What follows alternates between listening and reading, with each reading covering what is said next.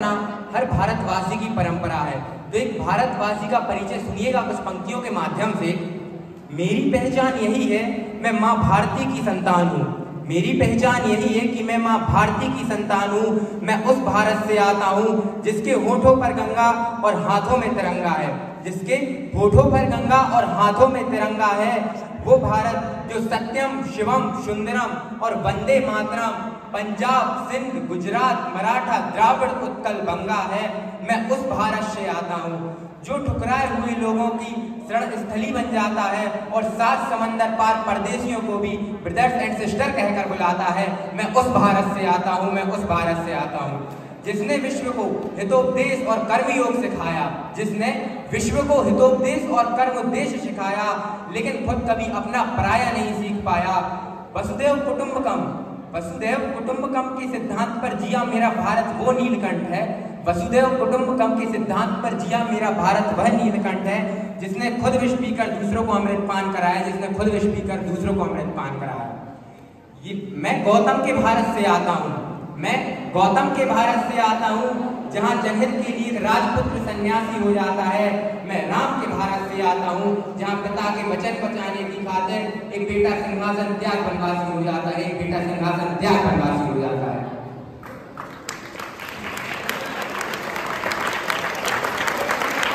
तो एक भारतवासी के परिचय के पश्चात मैं आप सभी को अपनी वाणी के माध्यम से आज़ादी के दूसरे पहलू की ओर ले जाना चाहूँगा। या सरल शब्दों में कहें तो आज की सच्चाई की ओर। इस मंच से अब तक लोगों ने सिर्फ़ पहले पहलू यानी हर्षो उल्लास के बारे में ही चर्चा की होगी, लेकिन सही मायने में स्वतंत्रता के दो पहलू होने ही नहीं चाहिए। ये दो पहलू का सबसे मुख्य कारण यह है कि नागरिक विभिन्न कौमों में बटा है। उसे एक होना ज़रूरी है। हमें एक होकर आगे आना होगा और स्वतंत्र भारत को सफल बनाना होगा, स्वतंत्र भारत को सफल बनाना होगा। मैं आपको दूसरे पहलू की ओर एक वीर रस की कविता के साथ ले जाना चाहूँगा, जो कि कुछ इस प्रकार है।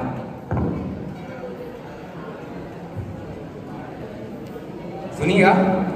खोलता हुआ रघु मेराणा व शिवाजी वाला लहू का उफान कभी झुकने ना पाएगा। खोलता हुआ रघु मेराणा व शिवाजी वाला लहू का उफान कभी झुकने ना पाएगा। पन्ना धाय हाड़ा रानी का है बलिदानी देश कुर्बानी में कलेजा दुखने ना पाएगा। शिखर सुभाष और भगत की धरा है यहाँ। शिखर सुभाष और भगत की धरा है यहाँ। क्रांति का प्रभाव कभी झुकने ना पाएगा। सवा सौ करोड़ दिलों में लहराता हुआ ये लाडला तिरंगा कभी झुकने ना पाएगा। सवा सौ करोड़ दिलों में लहराता हुआ ये लाडला तिरंगा कभी झुकने ना पाएगा। आगे कुछ पंक्तियों के साथ मैं भारत के संतों और अमर शहीदों की कुछ चिंताएँ व्यक्त करना चाहूँगा। गौर फरमाइएगा कि हिंदुस्तान बना मत देना लाशों पर इंसानों की। हिंदुस्तान बना मत देना लाशों पर इंसानों की और कथा कलंकित हो जाएगी पुरखों के बलिदानों की और कथा कलंकित हो जाएगी पुरखों के बलिदानों की। राष्ट्रभक्ति का मंदिर जिस दिन टूट गया नादानी में राष्ट्रभक्ति का मंदिर जिस दिन टूट गया नादानी में, और सिर्फ़ सिचकियाँ ही पाएँगे हम संतों की वाणी में, भारत माता के आंचल को मत बांटो बेताबी में। भारत माता के आंचल को मत बांटो बेताबी में, भगत सिंह की लाश के टुकड़े तड़प उठेंगे रावी में। गीत नहीं गाए जाएँगे, गीत नहीं गाए जाएँगे, कौन बांसुरी फूंकेगा? और निकलेगी ये देश समूचा खामोशी शमशानों की, और निकलेगी ये देश समूचा खामोशी और कथा कलंकित हो जाएगी पुरखों के बलिदानों की, कथा कलंकित हो जाएगी पुरखों के बलिदानों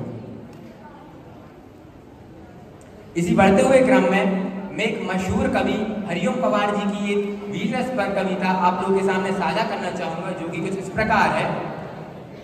काश्मीर जो खुद सूरज के बेटे की राजधानी थी काश्मीर जो खुद सूरज के बेटे की राजधानी थी, डमरू वाले शिव शंकर की जो घाटी कल्याणी थी। काश्मीर के भूमंडल को स्वर्ग बताया जाता था। काश्मीर जो भारत माता की आँखों का तारा था।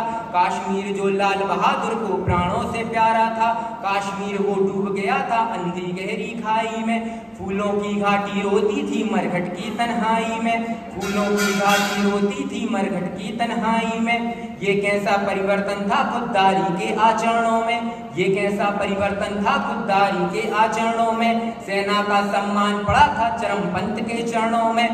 सबका खून खोल जाता था सुन पढ़कर अखबारों में। सबका खून खोल जाता था सुन पढ़कर अखबारों में। सिंहों की गर्दन कटती थी चूहों के दरबारों में। सिंहों की गर्दन कटती थी चूहों के दरबारों में। और अंत में दो पंक्तियों के साथ मैं अपनी वाणी को विराम दूँगा कि सरहद पर खड़े एक जवान के दिल से, सरहद पर खड़े एक जवान की दिल की गहराइयों से आप लोगों के लिए चार लाइनें लेकर आया हूँ। ध्यान से सुनिएगा कि किसी गजरे की खुशबू को महकता छोड़ आया हूँ। आवाज़ आ रही है मेरी पीछे तक? किसी गजरे की खुशबू को महकता छोड़ आया हूँ। किसी गजरे की खुशबू को महकता छोड़ आया हूँ। मेरी नन्ही सी चिड़िया को चहकता छोड़ आया हूँ। मुझे छाती से अपनी तू लगा लेना ए भारत माँ। मुझे छाती से अपनी तू लगा लेना ए भारत माँ।